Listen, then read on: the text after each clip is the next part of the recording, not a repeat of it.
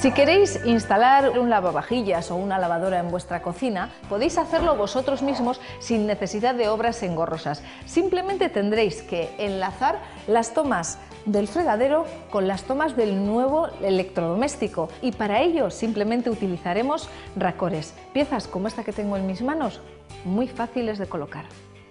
Para nuestro electrodoméstico necesitaremos hacer el enlace en la toma de agua fría. Cerramos la llave de paso.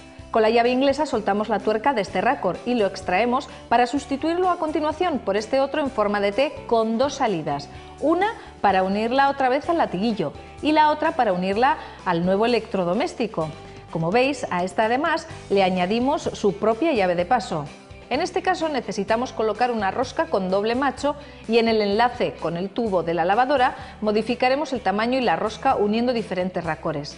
Es cuestión de elegir bien las diferentes piezas en vuestra tienda de bricolaje.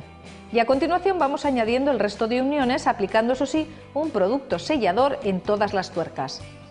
Abrimos las llaves de paso, cerciorándonos de que no hay ninguna fuga y ahora sí, ya tenemos solucionada la toma de entrada de agua. Nos falta solucionar el tema de la salida de agua del electrodoméstico. Lo vamos a ver en el próximo briconsejo, no os lo perdáis.